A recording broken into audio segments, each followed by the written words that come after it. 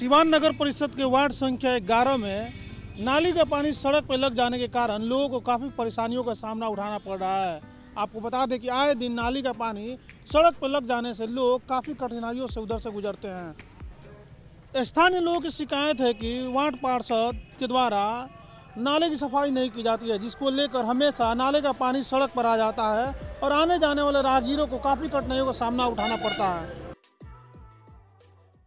ये क्या प्रॉब्लम है? प्रॉब्लम ये है कि आप लोग आपको हम लोग बुलाएँ इसलिए कि ये देखिए, वार्ड नंबर ग्यारह, मैं अहमद अली बाबा, वार्ड नंबर ग्यारह। ये हम लोग का जो नया किला मोड़ का वार्ड नंबर ग्यारह है, देवेंद्र गुप्ता की पत्नी, सोनी गुप्ता इस वार्ड के पार्षद हैं। और लगातार तीन कर्म से वो जीतते आ रही हैं, लेकिन इस वार्ड में तकरीबन 50 घर ऐसे हैं जहाँ डोर टू डोर कचरा उठाने का प्रावधान है। सिवान नगर परिषद के तरफ़ से वो ये काम नहीं करा रही हैं। तो मैं श्री मती सिंधु सिंह से गुजारिश करता हूँ आपके माध्यम से कि आकर हमारे नया किला मोड़ पे वार्ड नंबर ग्यारह का ये जर्जर स्थिति देखे जो नगर पार्षद से जाकर मिले थे? मैं अभी मिला नहीं हूँ लेकिन मिलने वाला हूँ हम लोग। ये तीस पैंतीस जो घर है वो बहुत परेशानी हम लोग झेल रहे हैं। डोर टू डोर कचरा भी नहीं उठता है और प्लस ये नाले का जो दशा है, देखिए, आज शुक्रवार जुम्मा का दिन है। हम लोग को बहुत परेशानी होता है। बच्चे, बूढ़े, जवान जो नमाजी हैं, वो आने जाने में उन लोग को दिक्कत होता है। मोड़ पे पानी लग जाता है। इस नाले को भर जाने से ये लोग कचरा नहीं उठा पाते हैं। इसका वजह हमको बताए श्रीमती सिंधु सिंह जी। आप चेयरमैन हैं। आपके माध्यम से मैं उनसे पूछना चाहता हूँ कि क्या वजह है? क्या हम लोग ये ग्यारह नंबर वार्ड के जो 40 घर है वो हम लोग क्या टैक्स नहीं देते हैं नगर पालिका का? ऐसा क्यों होता है? बताइए क्या कुछ कहेंगे? क्या कहना है? आवाज़ का हालात आप लोग देख ही रहे हैं। सारे तरफ़ नाली का पानी निकला हुआ है।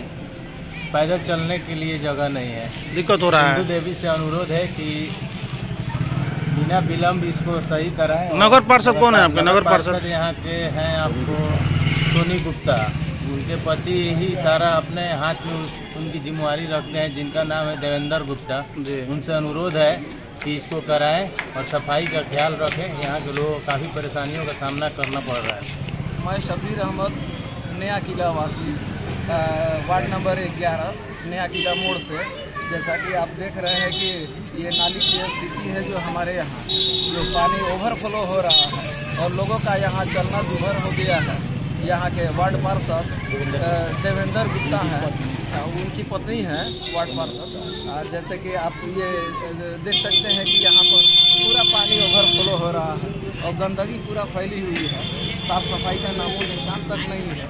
मैं नगर पालिका के लोगों से ये अपील करना चाहता हूँ कि आप इसकी रोज़ाना, यानी दैनिक रूप से आप इसकी साफ़ सफ़ाई का व्यवस्था कराएँ और हो सके तो हमारे चेयरमैन जो है, वो आ करके वो आ करके एक बार नया किला मोड़ का निरीक्षण निरीक्षण करें। मैं उनसे ये अपील करूँगा कि वो अपना बहुमूल्य समय निकाल करके आ करके नया किला के, नया किला मोड़ के स्थिति को देखें कि यहाँ किस तरह की परेशानियों का, लोगों का सामना करना पड़ रहा है।